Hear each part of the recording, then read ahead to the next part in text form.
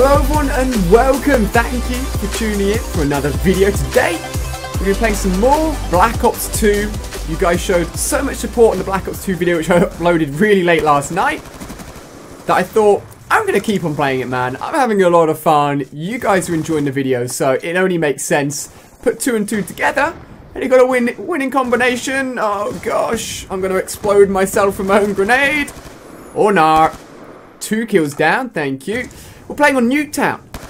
Classic, classic Nuketown. Actually, to be fair, it's a Nuketown 2025, I think. So technically it's the remaking version, but still classic. Oh gosh. There's people everywhere. Oh boy. Let's go, baby. Sweet. So, um, within Black Ops 2, I really like automatic assault rifles. You will have seen me using the AN uh, 94 yesterday. And the M27, I believe this is called, I used a bit when Black Ops 2 was like the main Call of Duty or the latest Call of Duty. But going back to Black Ops 2, I love it. I love this weapon. Now, it does it does take quite a few bullets to kill, but it has very low recoil, and I just like it, man. Oh, baby. There we go. We got ourselves a stealth chopper. Uh, I'm, I'm going to place it in the middle of the map rather than their side of the map, just in case the spawn switch. I've also got that VSAT.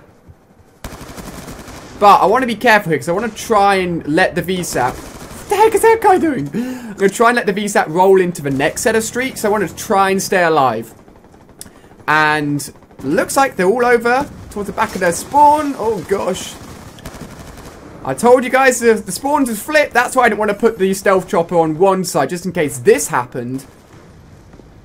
This guy's upstairs. He's, he's in the wrong building.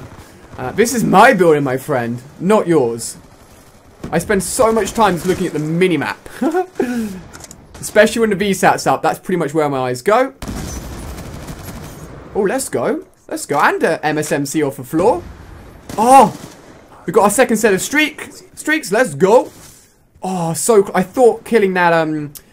Oh, there you go. Let's place that down. I thought killing the um tac insertion would give me enough points to get the second VSAT, but we're not quite there.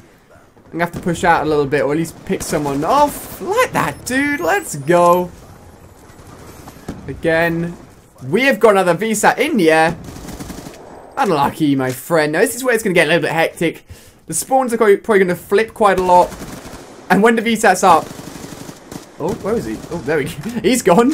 When the sets up, everyone can see it. So, of course, all my teammates are going to be sprinting at the triangles.